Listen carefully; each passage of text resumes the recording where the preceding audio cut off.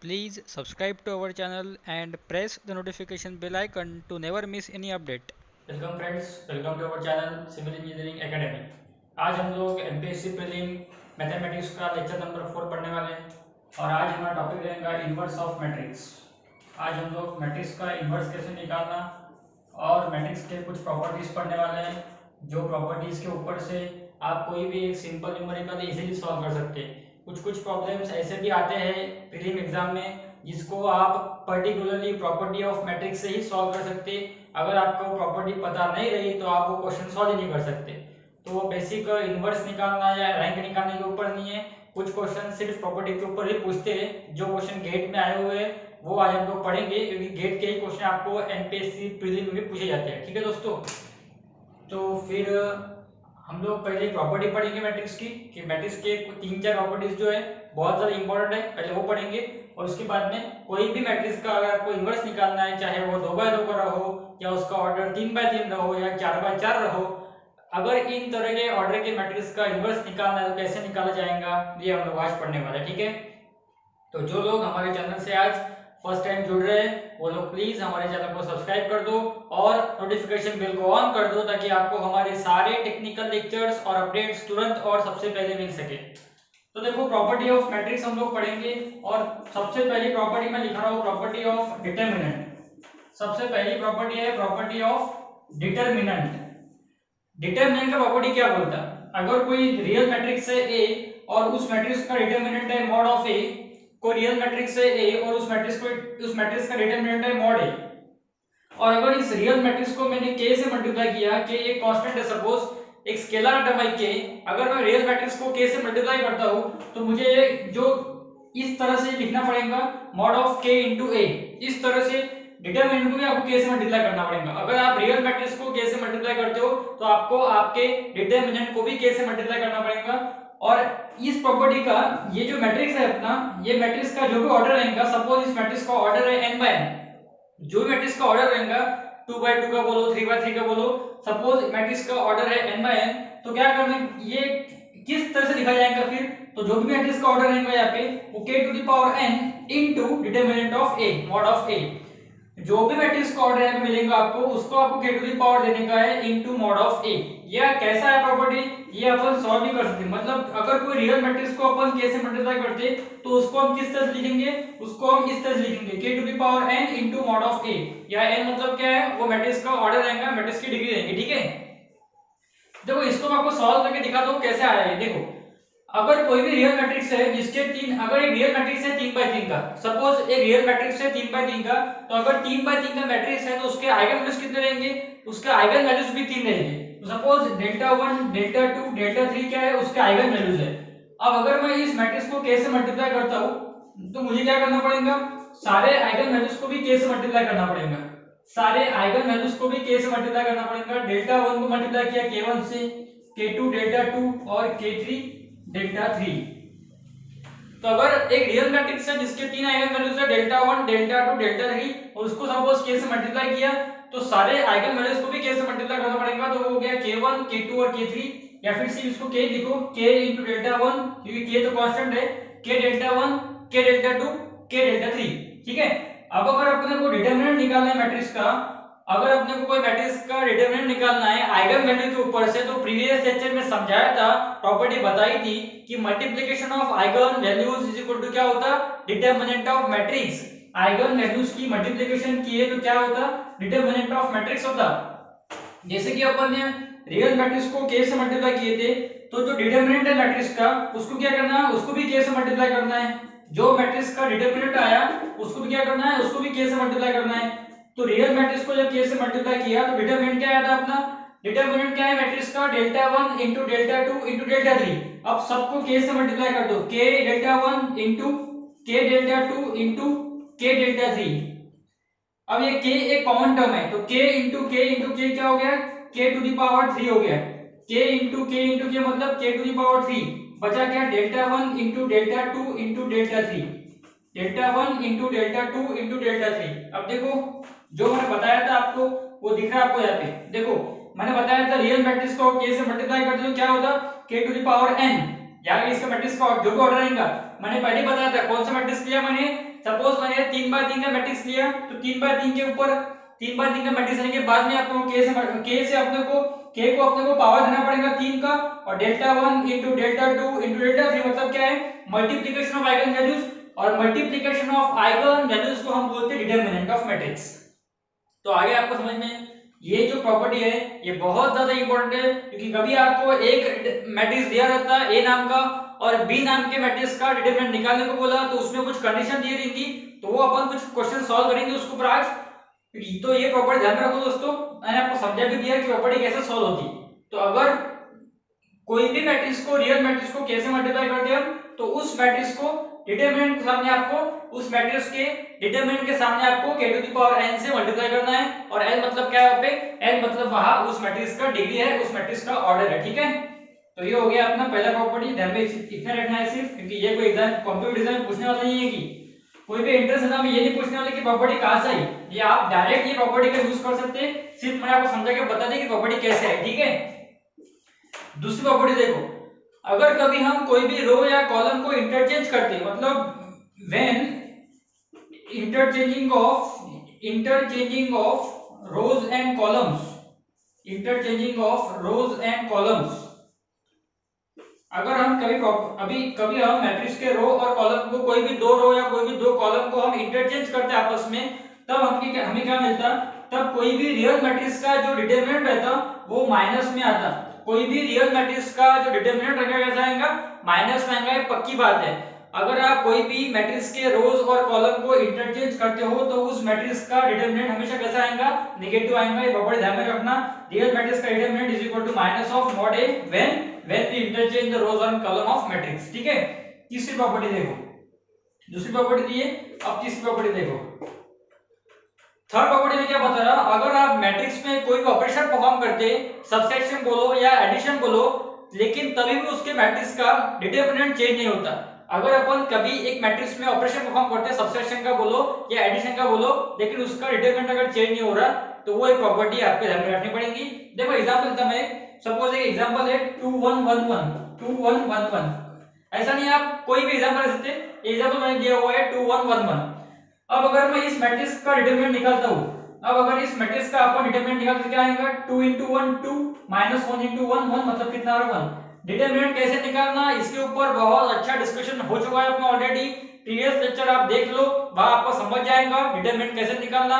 Description box में आई button पे उसका लिंक दिया हुआ है। प्लेलिस्ट का लिंक भी दिया हुआ है तो आप सारे लेक्चर्स एक साथ में देख सकते हैं, ठीक है? तो ये मैट्रिक्स का क्या किया? हमने डिटरमिनेंट निकाला। डिटरमिनेंट कितना है? 1 है। अब अगर सपोज़ इस मैट्रिक्स में मैं सब्सट्रैक्शन का ऑपरेशन परफॉर्म करता हूँ, इस मैट्रिक्स में मैं सब्सट्रैक्शन का ऑपरेशन परफॉर्म करता हूँ मतलब सपोज़ ये अपना, ये जो अपना रो है, ये है r1 और ये रो है अपना r2 मैं सपोज़ यहाँ पे r2 r1 ये ऑपरेशन परफॉर्म करता। इस मैट्रिक्स में मैं सब्सट्रैक्शन का ऑपरेशन परफॉर्म करता r2 r1 का ऑपरेशन परफॉर्म करता तो मैट्रिक्स किस तरह से आएगा? जब आप r2 r1 कर रहे हो मतलब आपको सेकंड रो चेंज करने का है। जब आप ऑपरेशन ऐसा लिख रहे हो r2 r1 मतलब आपको सेकंड रो चेंज करना है तो फ़र्स्ट रो में कुछ भी चेंजेस नहीं होगा दोस्तों। फ़र्स्ट रो उसी तरह से लिखो। सेकंड रो में क्या करने का है? सेकंड रो में क्या ऑपरेशन परफॉर्म करने का है? R2 r1 मतलब r2 में ये क्या है? 1 1 2 1 1 1 0 1 2 1 1 1 0 अब देखो ये क्या आ गया अपने पास में? जब अपन ने सब्सट्रैक्शन का ऑपरेशन परफॉर्म किया ये मैट्रिक्स के अंदर तो इस तरह से आ गया ये 2 1 1 0 अब अगर अपन इस मैट्रिक्स का डिटरमिनेंट निकालें, कितना है देखो? 2 into 0 0 माइनस माइनस 1 into 1 मतलब माइनस 1 माइनस 1 into 1 माइनस 1 बीच में साइन माइनस का रहता ही है मतलब माइनस माइनस प्लस हो गया. तो देखो इसका भी डिटरमिनेंट उतना ही आया 1 और इसका भी 1 आया था. मतलब ये ऑपरेशन आपका, ये जो प्रॉपर्टी है, ये भी सेटिस्फाइड हो रही है. कि अगर अपन कभी मैट्रिक्स में सब्सट्रैक्शन या एडिशन का ऑपरेशन परफॉर्म करते और फिर उसका डिटरमिनेंट निकाल ले तो डिटरमिनेंट सेम ही आता। रियल मैट्रिक्स का डिटरमिनेंट और सब्सट्रैक्शन का ऑपरेशन परफॉर्म करने के बाद में जो डिटरमिनेंट निकाला, वो भी उतना ही आया। मतलब ये प्रॉपर्टी भी सेटिस्फाइड होती है। और चौथी प्रॉपर्टी ये है फोर्थ नंबर की प्रॉपर्टी जो है, वो है इनवर्स ऑफ़ मैट्रिक्स जो आगे पढ़ने वाले अभी। मैट्रिक्स का इनवर्स कैसे निकालते रहते? तो कोई भी मैट्रिक्स का अगर आपको इनवर्स निकालना है तो उसका फॉर्मूला रहता है adjoint of A upon mod of A suppose एक ए मैट्रिक्स है ए मैट्रिक्स का अगर मुझे डिटरमिनेंट निकालना है तो क्या फॉर्मूला इनवर्स निकालना है? तो क्या रहेगा? Adjoint of A upon mod of A mod मतलब डिटरमिनेंट तो मॉड ऑफ़ ए कैसे निकालना ये तो हमने ऑलरेडी देख लिया, इसके ऊपर अपने बहुत से एग्जांपल्स भी हो चुके हैं। लेकिन अब एडजॉइंट ऑफ़ ए कैसे निकालना 2 बाय 2 में कैसे निकालना और 3 बाय 3 में कैसे निकालना, ये हम पढ़ेंगे। लेकिन ये मैट्रिक्स का डिटरमिनेंट निकालने के पहले, ये जो प्रॉपर्टी देखी अपन ने अभी, ये जो तीन चार प्रॉपर्टी देखी अपन ने अभी ये तीन प्रॉपर्टी के ऊपर या इसमें से कोई एक प्रॉपर्टी के ऊपर एग्जांपल पूछा हुआ है गेट में एक गेट में 2019 में मैकेनिकल ब्रांच के लिए ये एग्जांपल आया था, वो अपन सॉल्व करेंगे ताकि आपको प्रॉपर्टी समझ में आ जाएँगे, ठीक है? तो अपन ये प्रॉपर्टी के बेस के ऊपर एग्जांपल सॉल्व करेंगे और उसके बाद में आपको बताता हूँ कि इनवर्स ऑफ़ मैट्रिक्स किस तरह से निकालना है एडजॉइंट किस तरह से निकालना तो देखो दोस्तों, एक प्रॉब्लम है, ये प्रॉब्लम लिख लो आप लोग। देखो इफ़ मैट्रिक्स ए एक मैट्रिक्स है suppose if matrix A three by three का मैट्रिक्स है ये, और इसका मैट्रिक्स का डिटरमिनेंट दिया हुआ है फाइव मॉड ऑफ़ ए दिया हुआ है five and if B is equal to four times A B is equal to बोला है फोर टाइम्स ए तो find mod of B find mod of B ये अपने को निकालना है, ठीक है? मॉड ऑफ़ बी निकालना है, एक ए मैट्रिक्स है ए मैट्रिक्स का ऑर्डर कितना है? थ्री बाय थ्री का मैट्रिक्स है, जिसका डिटरमिनेंट कितना आ रहा? फाइव आ रहा। तो if b is equal to four है तो डिटरमिनेंट ऑफ़ b कितना आएगा? तो b is equal to four है बोला है। तो अगर मैं मॉड ऑफ़ b लिखता हूँ तो मुझे लिखना पड़ेगा मॉड ऑफ़ फोर है अगर मैं इसको मॉड में डाल दूँ mod of b is equal to mod of four है तो ये प्रॉपर्टी कोई हो रही? ये फोर मतलब क्या है? आपका k है। ये एक प्रॉपर्टी बताया मैंने अभी। अपन ने लिखा था k इंटू ए अगर अपन किसी रियल मैट्रिक्स को k से मल्टीप्लाई करते तो क्या लिखना पड़ता है? k इंटू लिखना पड़ता। तो b is equal to four है दिया। मतलब ये फोर क्या है? फोर ये अपना स्केलर कांस्टेंट है, स्केलर टर्म है के अब ये फोर को क्या करना पड़ेगा। क्या क्या लिखा है इसको अपन ने? जब इस तरह से आता, एक कांस्टेंट ऐड होता डिटरमिनेंट के अंदर k इनटू a, क्या लिखा था इसको? k to the power n into a लिखा था। वैसे ही 4 to the power n into a लिखूँगा। अब n मतलब क्या होता? मैट्रिक्स का ऑर्डर होता है। इसका ऑर्डर कितना है? 3 बाय 3 का है मतलब 4 टू द पावर 3 और mod of a 4 to the power n into mod of a mod of a कितना दिया है अपने को? 5 तो 4 टू द पावर 3 इनटू 5 तो 4 क्यूब इंटू फाइव इसका आंसर निकालो तो ये 64 इंटू फाइव तीन सौ बीस आएगा इसका आंसर तो बहुत सिंपल सिर्फ़ आपको ध्यान रखना था कि यहाँ पे k इंटू ए बन गया। देखो यहाँ पे mod of b is equal to क्या बन गया? 4a इसको मॉड में डाल दिया तो 4 इंटू ए मतलब क्या बन गया? k इंटू ए बन गया। अब ये 4 एक कांस्टेंट है मतलब क्या है? तो आपको सिर्फ़ क्या करने का है, k to the power n into mod of a और n मतलब क्या है? मैट्रिक्स का ऑर्डर जो दिया है 3 बाय 3 तो सिंपली आपको आंसर सॉल्व करते आ गया, ये क्वेश्चन सॉल्व करते आ गया। बहुत सिंपल था दोस्तों। ये प्रॉपर्टी ध्यान में रखो। प्रॉपर्टी के ऊपर से आपको एक आधा क्वेश्चन एग्ज़ाम में आया तो सॉल्व करते आना चाहिए, ठीक है? तो अब अपन जाएँगे इनवर्स के ऊपर। एक प्रॉब्लम बता दिया मैंने आपको। एक सैंपल बता दिया। इसके ऊपर और भी क्वेश्चंस टेलीग्राम पे डाल दूँगा तो वहाँ से आप लोग सॉल्व कर देना। अब अपन जाएँगे इनवर्स के ऊपर।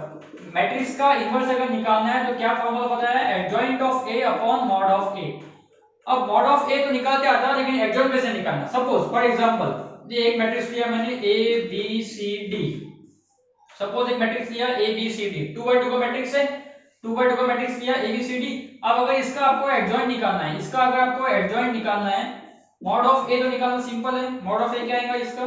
मॉड ऑफ़ ए आएगा इसका a into D minus C into B ये हो गया इसका मॉड ऑफ़ ए अब इसका एडजॉइंट कैसे निकालेंगे हम लोग? तो सिंपली अगर आपको कोई रियल मैट्रिक्स का एडजॉइंट निकालना क्या करना, ये जो डायगोनल एलिमेंट्स है, ये जो डायगोनल एलिमेंट्स है, इसको अपोजिट लिख देना। इसको अपोजिट लिख देना मतलब a के जगह d लिख दो और d के जगह a लिख दो। टू बाय टू के लिए बता रहा थ्री बाय थ्री के लिए थोड़ी लंबी है, लेकिन टू बाय टू के लिए ट्रिक है ये। क्योंकि एंट्रेंस एग्ज़ाम में क्वेश्चन सॉल्व करते हुए आपको ट्रिक फॉलो करना पड़ेगा। अगर आप लेंदी प्रोसेस से जाओगे तो ये आपको सॉल्व करने के लिए बहुत डिफ़िकल्ट जाएगा और बहुत टाइम वेस्ट हो जाएगा आपका। तो ये एक सिंपल ट्रिक है एडजॉइंट निकालने के लिए टू बाय टू के बता रहा और थ्री बाय थ्री के अंदर भी सिंपल ट्रिक बताऊँगा, ताकि आपको थ्री बाय थ्री का या फोर बाय फोर का एडजॉइंट इजीली निकालते हैं, ठीक है? टू बाय टू का बहुत सिंपल है। और ये उसको प्रूव करके बताऊँगा ये जो मैंने पढ़ाया, ये ये ट्रिक लागू होती क्या? ये ट्रिक प्रॉब्लम पे अप्लाई होती क्या? इसको एक प्रॉब्लम लेके प्रूफ भी लेके बताऊँगा आप लोगों को, ठीक है? तो उसकी टेंशन मत लो आप।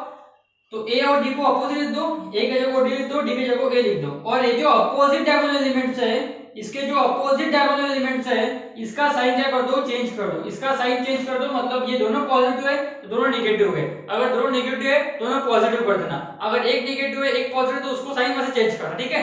सिर्फ़ साइन को चेंज कर देना तो ये हो गया अपना एडजॉइंट ये अपना टू बाय टू का एडजॉइंट हो गया, और मॉड तो आपको निकालते आते हैं a into D minus C into D तो टू बाई टू के अंदर ज़्यादा डिफ़िकल्ट नहीं आता।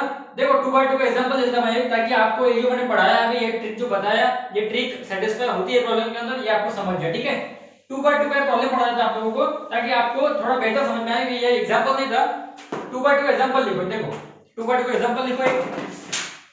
देखो इफ़ ए मैट्रिक्स एक ए मैट्रिक्स दिया हुआ है। ए मैट्रिक्स दिया है 2 minus point one zero three two minus point one zero three और इस ए मैट्रिक्स का इनवर्स भी दिया हुआ है। इस ए मैट्रिक्स का इनवर्स भी दिया हुआ है। Point five A zero B point five A zero B और आपको पूछा है what is the answer of A plus B आपको पूछा है what is the answer of A A plus B ये जो दो एलिमेंट है यहाँ पे ए और बी इसकी वैल्यूज़ पता नहीं है। तो आपको ये ए प्लस बी का आंसर निकाल के बताना है दोस्तों। ये ए मैट्रिक्स दिया हुआ है। मैट्रिक्स का इनवर्स बोला है। 0.50 ए बी इनवर्स दिया लेकिन इनवर्स कंप्लीट नहीं है। तो उसके अंदर जो दो एलिमेंट है ए बी वो मिसिंग है, उसके आंसर्स आपको बताने हैं और उन दोनों के सम कितने हैं वो आपको बताने ठीक है? देखो, पहले अपन क्या करेंगे? इनवर्स निकालेंगे इसका। इनवर्स का फार्मूला क्या बताया मैंने अभी? इनवर्स का फार्मूला बताया था adjoint of A upon mod of A अब कोई भी मैट्रिक्स का एडजॉइंट निकालना कैसे निकालते हैं 2 बाय 2 का मैट्रिक्स है। क्या बताया था मैंने? ये जो डायगोनल एलिमेंट्स है, इसको अपोजिट लिख दो मतलब क्या? 2 के जगह 3 और 3 के जगह 2 और ये जो एलिमेंट्स है, इसके साइन चेंज कर। दो मतलब ये नेगेटिव है तो ये पॉजिटिव हो जाएगा और ये पॉजिटिव है तो ये नेगेटिव हो जाएगा, ठीक है? अपॉन इसका मॉड कैसे निकालेंगे? मॉड ऑफ़ ए कैसे निकालेंगे इसका? 3 into 2 6 3 into 2 माइनस 0 into 0.1 क्या? 0 हो गया। मतलब कितना आ गया? मॉड ऑफ़ ए 6 आ गया। ये आ गया 6 अब सिंपली इसको डिवाइड कर दो।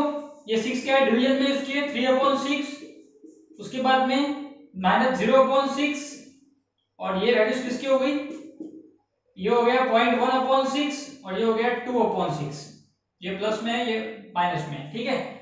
तो देखो क्या आ गया? Three upon six minus zero upon six point one upon six two upon six इसको और सॉल्व कर लूँ तो इसका इनवर्स क्या मिलने वाला है अपने को? इसका इनवर्स क्या मिलने वाला है?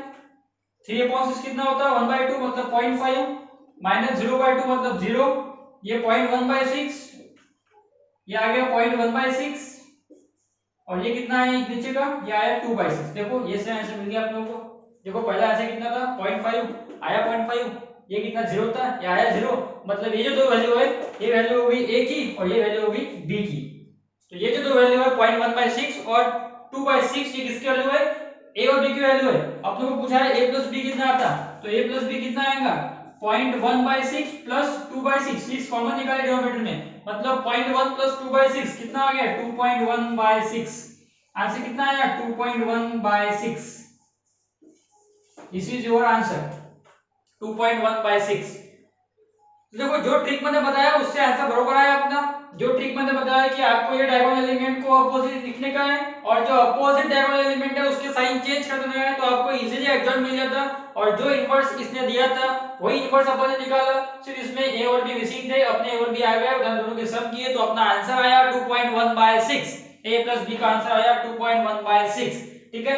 तो बहुत सिंपल है। 2 बाय 2 का एडजॉइंट निकालना 2 बाय 2 का इनवर्स निकालना है वेरी सिंपल तो 2 बाय 2 का बहुत कम पूछने वाले हैं 3 बाय 3 का पूछने वाले हैं तो 3 बाय 3 में निकालना, थोड़ा डिफ़िकल्ट जाता थोड़ा लेंथी प्रोसेस है 3 बाय 3 निकालना तो देखो 3 बाय 3 का समझ लो अच्छे से 3 बाय 3 का एग्जांपल एक एक पहले समझा था कैसे निकालना, बाद में उसका एग्जांपल दूँगा तो पहले 3 बाय 3 का मैट्रिक्स किस तरह से निकालना, वो समझाया था आप एक बार, देखो सपोज़ इस तरह से एलिमेंट है A B C D F G H I ये एक ए मैट्रिक्स है और इसका अगर इनवर्स निकालना है तो इनवर्स का फॉर्मूला क्या होता है? Adjoint of A upon mod of A तो मॉड तो आप निकाल सकते ये मॉड कैसे निकालना? ऑलरेडी बताया हुआ है। पहले ये एलिमेंट लो, इसको प्लस माइनस प्लस लो, ये एलिमेंट लो, ये माइनस करो, ये एलिमेंट लो, ये देखो, ये एलिमेंट लो, ये ये एलिमेंट देखो।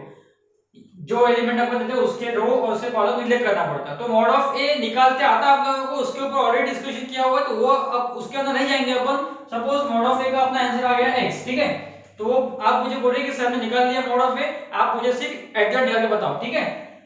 तो एडजॉइंट निकालेंगे अपन। मॉड ऑफ़ ए किस तरह से निकालना, वो आपको आता है, उसमें अपन अभी नहीं जाएँगे एडजॉइंट कैसे निकालना, इस मैट्रिक्स का, देखो आप। क्या करना है आप लोगों को?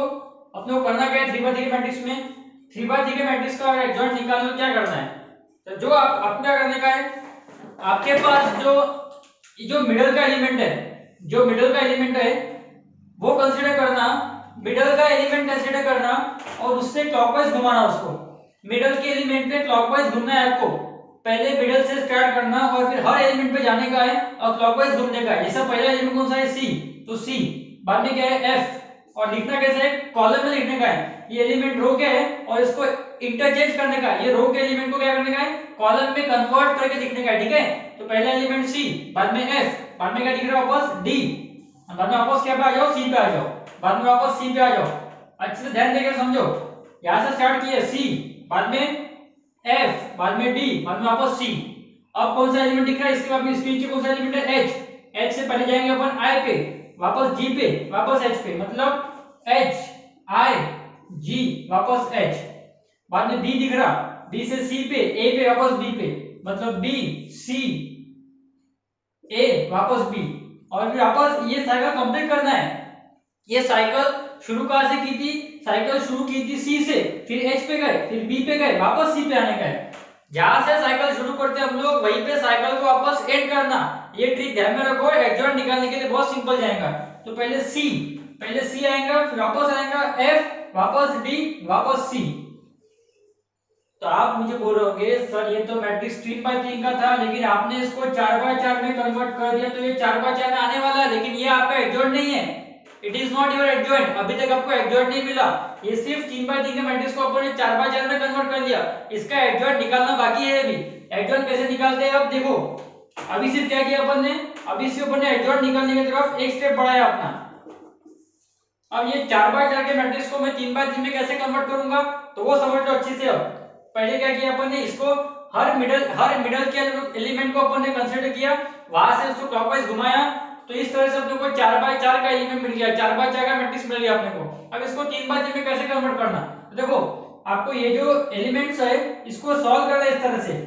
इसका C into J minus F into H मतलब C into J minus F into H इतना आप करोगे तो आपको एक एलिमेंट मिल गया। सपोज़ एलिमेंट मिल गया पी मतलब सी इंटू जे यहाँ पे नंबर रहेंगे कुछ तो कि two into four minus one into three ऐसा करोगे ना आप लोग? सपोज़ यहाँ टू है यहाँ फोर है two into four minus one into three तो एट माइनस थ्री आ गया फाइव मतलब ये फ़र्स्ट एलिमेंट आ गया फाइव सपोज़ उसको नाम दिया मैंने पी वैसी बात में H into C minus J into B ये आपने किया, इसका एलिमेंट आ गया क्यू सपोज़ वैसे B into F minus C into C ये आपने किया, इसका एलिमेंट आ गया सपोज़ आर ज़ीरो आएँगे वहाँ पे। मे बी ज़ीरो भी सकता है ऐसा कुछ नहीं है। सपोज़ ये एलिमेंट आ गए पी क्यू आर बाद में वैसे ही f into G minus D into Y suppose ये आ गया m. बाद में आपने किया i into Q minus G into C ये आ गया सपोज़ n. बाद में आपने किया c into D minus a into f, ये आ गया सपोज़ o. बाद में आपने किया d into h minus c into g ये आ गया सपोज़ w. या फिर इसको बोलता मैं x. बाद में आपने किया g इंटू की माइनस h इंटू इसको बोलता y. उसके बाद में आपने किया a into c minus b into d, इसको बोलता मैं z. तो देखो, हो गया तीन बाय तीन में कन्वर्ट हो गया तीन बाय तीन में कन्वर्ट तो पहले आपको इस तरह से चार बाय चार में कन्वर्ट करना है मैट्रिक्स को। बाद में इसका एडजॉइंट निकालने के लिए ये हर ये जो एलिमेंट दिख रहा है आपको इसमें ये चार ये चार ये चार, ऐसे आपको हर एक को सॉल्व करके आपको इस तरह से हर एक एलिमेंट मिलने वाला सपोज़ उस नाम, उसको मैं नाम दिया P Q R M N O X Y Z इस तरह से ये तीन बाय तीन में कन्वर्ट हो गया, ये हो गया आपका एडजॉइंट ऑफ़ मैट्रिक्स ये आपका एडजॉइंट हो गया। फिर जो भी आपका डिटरमिनेंट रहेगा, उस हर टर्म को डिटरमिनेंट का जो नंबर रहता रहेगा ये हर एलिमेंट को, यहाँ का जो नंबर रहेगा उसे डिवाइड करना तो आपको आपका इनवर्स ऑफ़ मैट्रिक्स मिल जाएगा। ठीक है? समझ में आया लोगों को? इसका एग्जांपल दूँगा एक तो आपको समझ में आएगा अच्छे से। ये सिर्फ़ एक पैटर्न था कि आप लोगों को तीन बाय तीन के मैट्रिक्स का एडजॉइंट किस तरह से निकालना है और डिटरमिनेंट किस तरह से निकालना है, उसके बाद में उसका इनवर्स किस तरह से निकालना है। तो तीन बाय तीन का एडजॉइंट निकालने के लिए थोड़ा लेंथी आता है, लेकिन इनवर्स ऑफ़ मैट्रिक्स के ऊपर एक क्वेश्चन एग्ज़ाम में आता ही आता है तो आपको ये करना ही होगा दोस्तों। चार बाय चार का पूछते नहीं नॉर्मली चार बाय चार का इनवर्स निकालने को नहीं पूछते डिटरमिनेंट निकालने को पूछ सकते लेकिन इनवर्स का अभी तक चार बाय चार क्वेश्चन आया नहीं है क्योंकि वो बहुत ज़्यादा लेंथी हो जाएगा, वो मैट्रिक्स की पाजा पाजा बनेगा, फिर उसको फॉलो हमें कन्वर्ट करो it is very lengthy process इसलिए चार बाय चार का पूछा नहीं आज तक कभी, लेकिन तीन बाय तीन का एग्ज़ाम आने वाला है तो ये आपको करना ही है दोस्तों, ठीक है? तो हम लोग इसके ऊपर नेक्स्ट लेक्चर में एग्जांपल देखेंगे कि इसके ऊपर हम दो तीन एग्जांपल सॉल्व करेंगे। नेक्स्ट लेक्चर जो रहेगा अपना वो पूरा इनवर्स ऑफ़ मैट्रिक्स के एग्जांपल्स के ऊपर ही रहेगा। तब तक आप लोग दो बार दो के मैट्रिक्स के एग्जांपल सॉल्व करके देखो। खुद से एग्ज़ाम खुद से मैट्रिक्स बनाओ, खुद से ही सॉल्व करो, खुद से ही प्रैक्टिस करो। टेलीग्राम पे मैं कुछ एग्जांपल्स अपलोड कर दूँगा, वहाँ से सॉल्व करना। नेक्स्ट लेक्चर में तीन बाय तीन के मैट्रिक्स का इनवर्स कैसे निकालना। थोड़ा पैटर्न समझा दिया। आप लोग कोई भी एग्जांपल ले लो एक मैट्रिक्स का। सपोज़ एग्जांपल आपको देता मैं। तीन बाय तीन का सॉल्व करके देखना घर पे। एक एग्जांपल आपको देता हूँ मैं, तीन बार तीन के मैट्रिक्स का। ये आप लोग सॉल्व करके देखो। कुछ भी अगर दिक्कत आती है तो मुझे पूछो। सपोज़ एक 0 1 2 ये मैं सॉल्व करके दूँगा, चलो बाद में आपको। 0 1 2 1 2 3 और 3 1 1 इसका देखो आप इनवर्स क्या आता निकाल के देखो। डिटरमिनेंट निकालो, इसी मेथड से एडजॉइंट निकालो। पहले इसको इस तरह से क्लॉकवाइज घुमाओ। चार बार में कन्वर्ट करो चार बार में कन्वर्ट करो इसको, फिर तीन बार में कन्वर्ट करो, इस तरह से जो प्रोसेस बताया मैंने, उसके बाद में जो डिटरमिनेंट आएगा, वो हर नंबर से इसको डिवाइड करो, हर एलिमेंट को डिटरमिनेंट से डिवाइड करना तो आपको पूरे आपके इनवर्स के जो एलिमेंट रहेंगे मैट्रिक्स के, वो मिल जाएँगे। इसको सॉल्व करके देखो, आपके लिए होमवर्क प्रैक्टिस के लिए दे देता क्वेश्चन एक, इसको सॉल्व करके देखो, और भी कुछ आपके पास किताब होंगी, उसमें से सॉल्व करो इनवर्स निकालने की प्रैक्टिस करो। नेक्स्ट लेक्चर में दो तीन क्वेश्चन इनवर्स के सॉल्व करके दूँगा, उसके बाद में अपन जाएँगे मैट्रिक्स के थर्ड टॉपिक के ऊपर जो अपना ऑलमोस्ट लास्ट टॉपिक रहेगा रैंक ऑफ़ मैट्रिक्स तरफ़, ठीक है? तो तब तक के लिए थैंक यू दोस्तों, और वीडियो पसंद आते होंगे तो उसे ज़रूर लाइक कर देना। आपके लाइक से बहुत ज़्यादा मोटिवेशन मिलता है बहुत ज़्यादा इंस्पिरेशन मिलती है और ऐसे ही वीडियो बनाने का इंस्पिरेशन मिलता है। तो प्लीज़ लाइक कर दिया करो। Thank you